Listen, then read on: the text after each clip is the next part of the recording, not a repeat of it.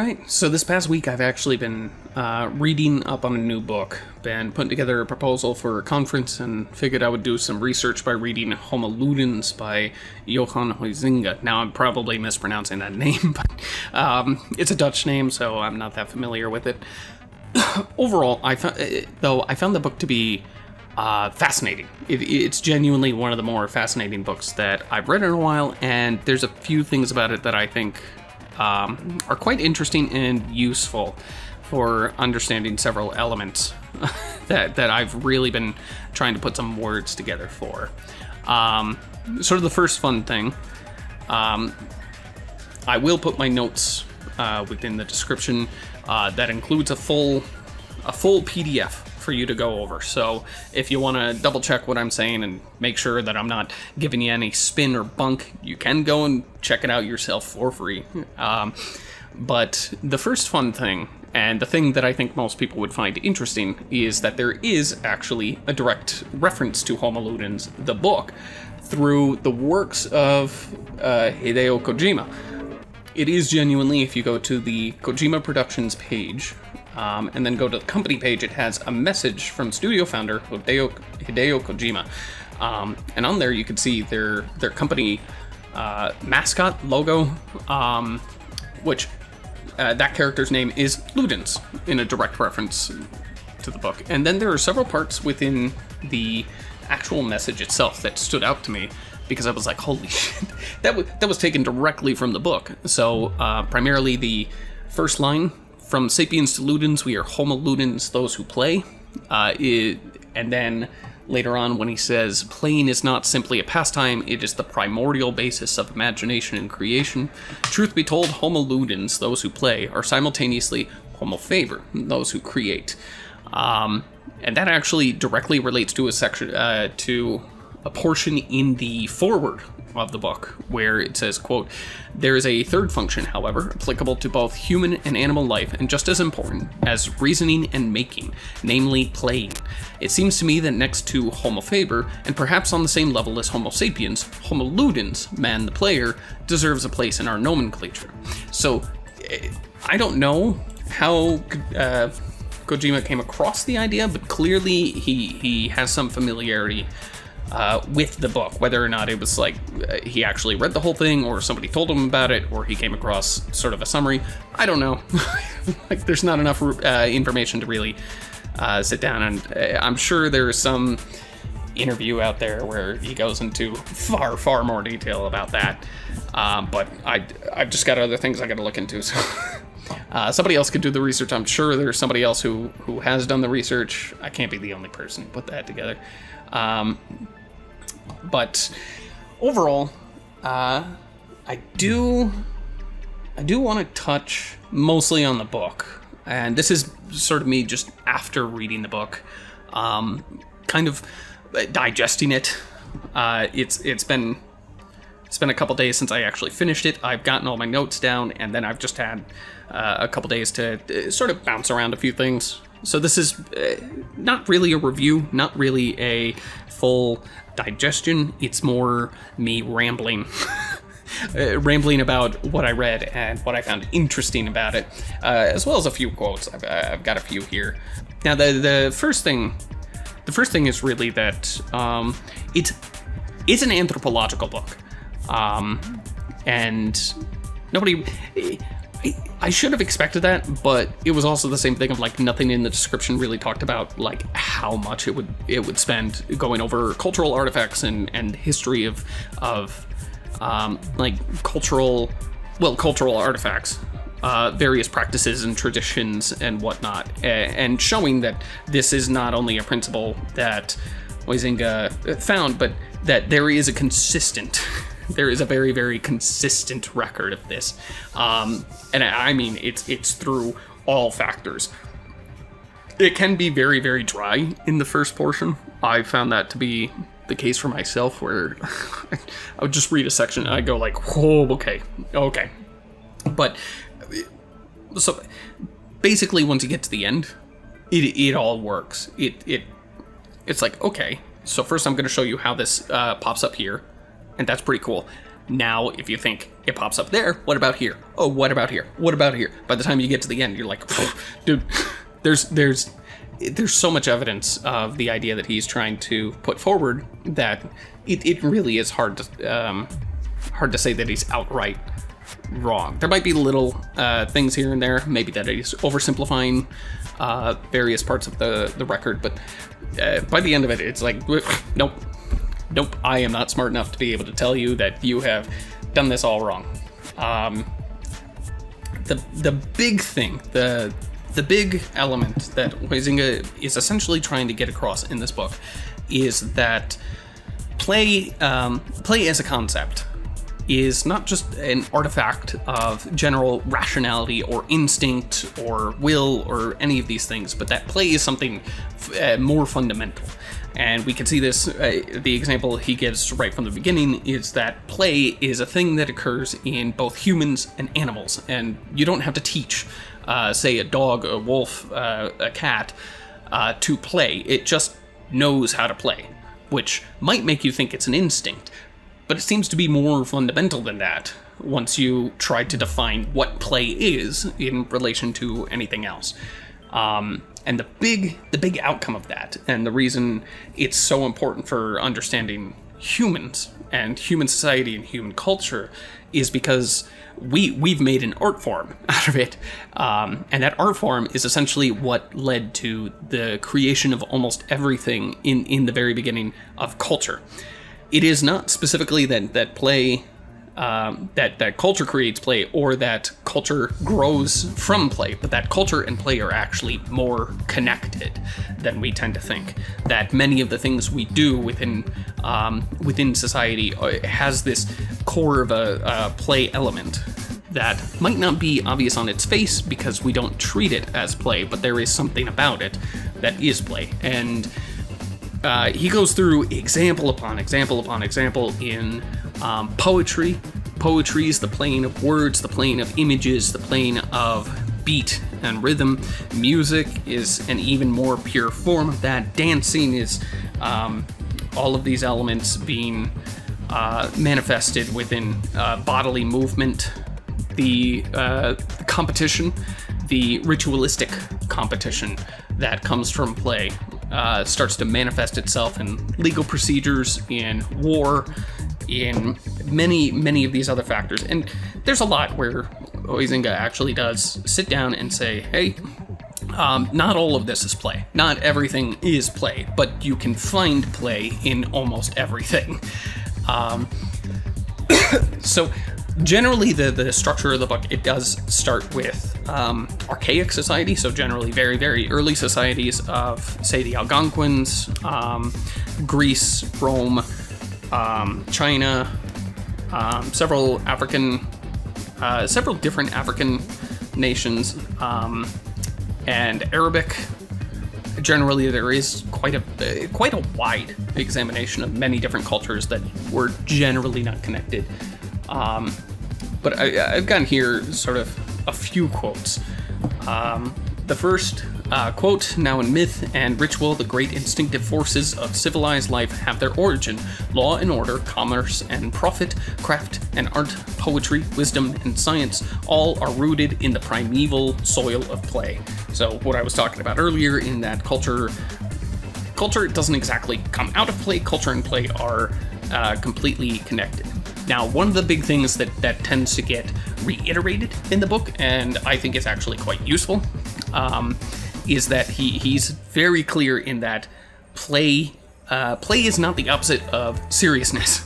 Um, people tend to, to view them as such. If somebody is playing, obviously they're not serious, but that's that's far from the truth, and I believe he says it best here. Quote, uh, we can say play is non seriousness, but apart from the fact that this prop, uh, proposition tells us nothing about the positive qualities of play, it is extraordinarily easy to refute. As soon as we proceed from play is non seriousness to play is not serious, the contrast leaves us in the lurch. For some, play can be very serious indeed. Moreover, we can immediately name several other fundamental categories that likewise come under the heading non seriousness, yet have no correspondence whatsoever with play. Laughter, for instance, is in a sense the opposite of seriousness without being absolutely bound up with play. Children's games, football, and chess are played in profound seriousness. The players have not the slightest inclination to laugh. It is worth noting that the purely physiological act of laughing is exclusive to man, whilst the significant function of play is common to both men and animals. The Aristotelian animal characterizes man as distinct from the animal almost more absolutely than Homo sapiens. Now, again, that, that idea kind of it pops up again and again and again because usually when you're talking about something like legal matters or war, you're talking about something that most people tend to look at and go, but that's a serious thing. There's no way that that play is connected with it. And Huizinga really wants the reader to understand that no, no, no, just because something is serious doesn't mean there isn't play involved. Um, if anybody has been in any sort of competitive game with a friend, you take it seriously. You want to win. Um, and this element of play is is usually ignored when people are trying to define what play is and just how uh, significant it is to culture. So it's a very important point to uh, keep in mind overall. The other things he does is he sort of um, categorizes different elements of play, what what denotes play and what doesn't. Um, which uh, the big thing, a big thing that continually pops up is that uh, play play may be easy to define, although it also may not. Uh, there are several notes that he makes of that, but um, one of the interesting things about play is that there is really no opposite of play. Again, we can't say seriousness is the opposite of play because, well, play can be serious. So if we say earnestness, um, it, it, play doesn't really have an analog. I mean, there are certainly things that fall out of play, but their falling out of play seems to be an affectation of something else. We essentially remove play from something, not that play itself has become an opposite. In other words, eh, there's play and there's not play. The same activity can be play or not play. You could do the same thing and have the element of play, but also not have the element of play. Overall, though, by the time you get to sort of the later chapters, well, the essential idea of the book is to show how play and culture relate and how important play was for the formation of culture and sort of the continuation of many of the cultural elements that, that we continue to keep. But by the time you get to the last two sections, Huizinga is is more concerned that we're in a world where play is continually being pushed out for this new this overall new construction and he has a hard time defining it but he can certainly point to elements and say this does not feel like play. Something has changed.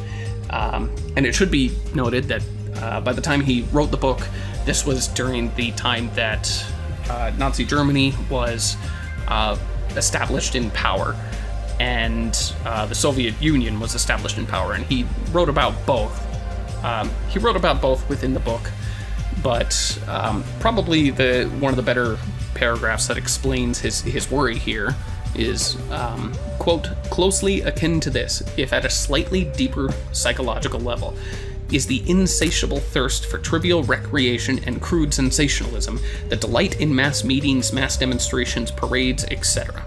The club is a very ancient institution, but it is a disaster when whole nations turn into clubs.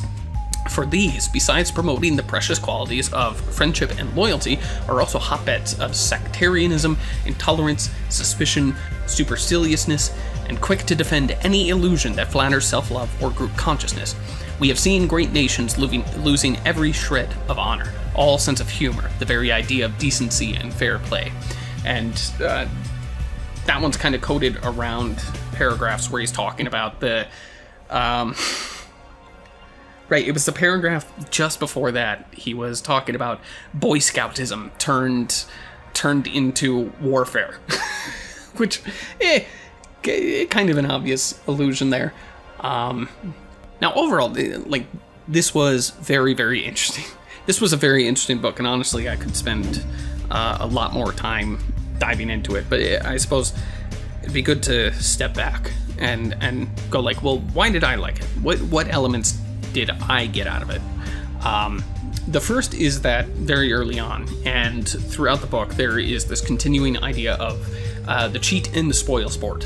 Very early on, he goes over the idea that there is um, those who play, those who cheat, and those who spoil the game. And what's very interesting is um, those who play play in earnest, those who cheat acknowledge the game and they acknowledge the rules, but they're they're more playing with them. They're more they're not breaking the game entirely, but they're more bending the rules or looking for an unfair advantage. But they're still playing the game, and as such, we're actually a little more um, understandable of this.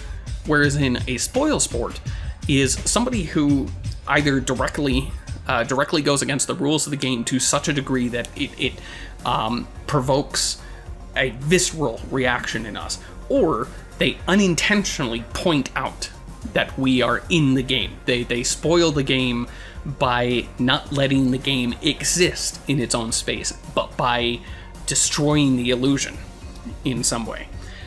Um, this actually, uh, it puts into context. Last week I was talking about the ideation of ideas and sort of a, a rambling on why why modern conversation seems to be so weird in that speaking with people is is like speaking to multiple layers of inbuilt beliefs and understandings that is very very difficult to to push through to any significant uh, significant degree. And one of the elements that I brought up about that was typically the I, I find myself in conversations where um, we seem to be having a normal conversation, and then instantly it transforms. It, something is said, something is done, where it goes from a normal conversation to suddenly something, some switch has been hit. And understanding it in this way, I actually somewhat understand that more. Um, because, in some sense, to the other person, or to myself, depending on the conversation, um, one of us has spoiled the game in a way. And probably the, the best example of this uh, is a personal conversation I had with a family member at one point. Um, this was during a, a particular a particular gathering, uh, and I don't know. One of my family members was um, going on about uh, various uh, political ideas, uh, various ideas that, uh, for the most part, I was just sort of uh, just gonna listen to, chill with. Um, but they said one in particular where they said uh, we should jail and uh, jail and kick out of the country anybody who burns the flag, and it was at that point I was just sort of like, okay, hang on, nope, I, I don't, I think that's a very dangerous idea. You start implementing that, it produces all sorts of legal problems, and it starts to undermine one of the fundamental uh, aspects that we have in the United States. Uh, it instantly, it, it went from just they were generally talking to people to instantly screaming at me, like top of their lungs started saying some stuff that I could not have predicted, where it was suddenly that I hate America, I, I want the country to be destroyed, I'm actually an anarchist, I hate veterans, I hate the police, um, I, I like, it was just all sorts of stuff where I was like, where is this coming from? Um, to me, it was it was so out of left field that uh, for for the longest time I'm just like what what even happened? It, it was literally 0 to 100 everyone was chill talking. No one seemed to be upset. I just sort of gave a little bit of pushback and it it, it just it became something else. But now eh, with the context of, of what I read here there I think I'm getting uh, a bit of the idea. I spoiled the game. Uh, which is a very, very weird way of saying it. But the, the context of what was happening was not.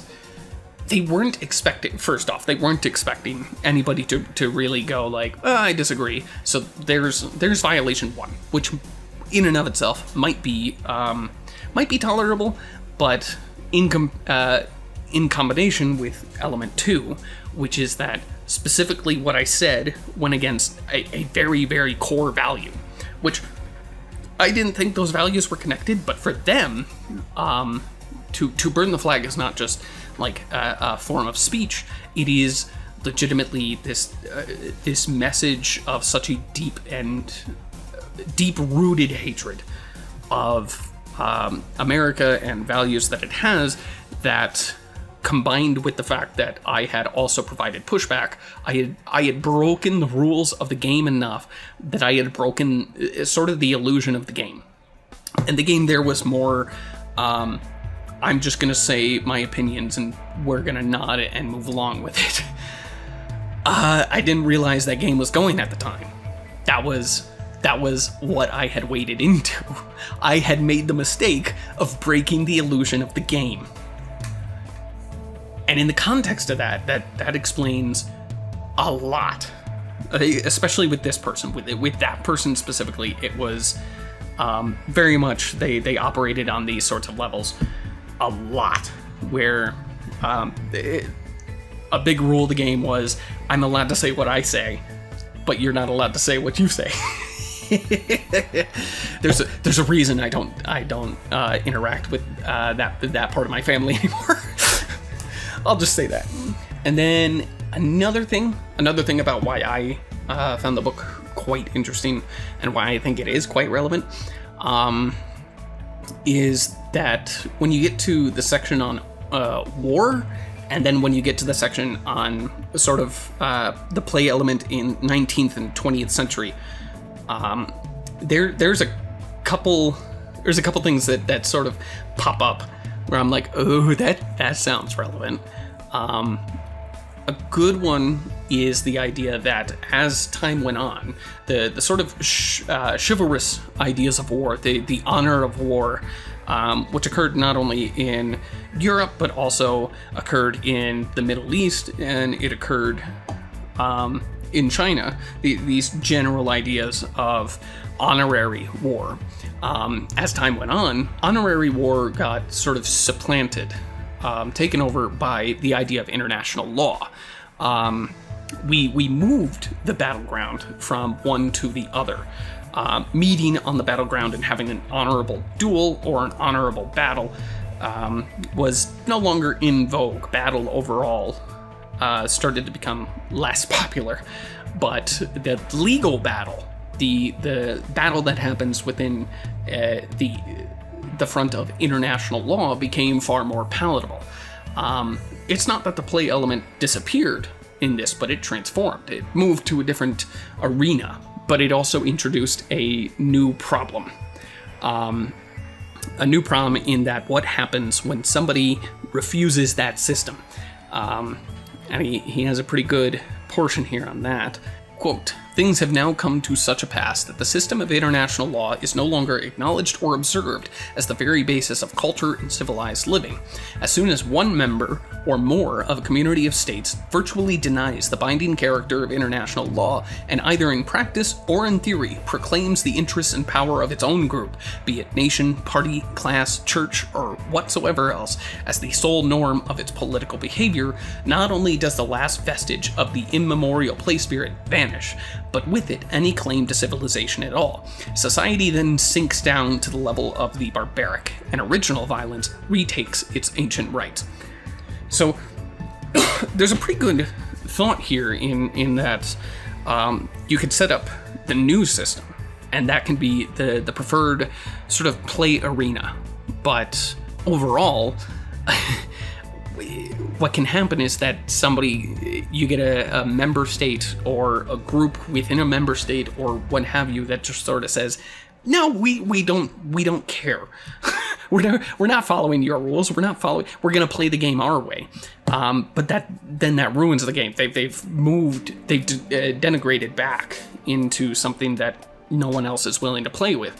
And probably the, the two conflicts that are most relevant for this right now are um, Ukraine, Russia, and Israel, Hamas. Um, these two conflicts right now are um, very, very heated, and depending on who you talk to, there is kind of an element in there where people are talking about um, the other side spoiling the game. So, for instance, um, it's usually that Russia or NATO or Hamas or Israel are blatantly ignoring international law. And again, it depends on who you ask. Um, but the, the justification for what people do, uh, for, for what a nation might do. Um, in the instance of Ukraine, it's that Russia illegally invaded. They flagrantly violated international law and decided to engage in a territorial war. Um, but if you talk to people on the Russian side, uh, they'll say like NATO ignored uh, original trade agreements and flagrantly violated international law with the expansion of NATO and um, the the I don't know there was something about secret soldiers in Ukraine, the Euromaidan. Sorry, um, everything with the Euromaidan was a violation, a coup. Um, you know, Nazis within Ukraine. There's a lot of um, there's a lot of justification towards the idea that um, Russia says Ukraine violated international law or NATO violated international law, and therefore they, they're completely in the right to do what they do. They have the self defense, whereas in Ukraine also says that um, Russia violated international law. Now, over time, over time, uh, obviously the one. Uh, one party is going to win out, uh, win out over the other, and I will be honest here. I'm not trying to say that both sides are equally, um, equally justified. I am generally, I am almost entirely on the side of Ukraine on this one.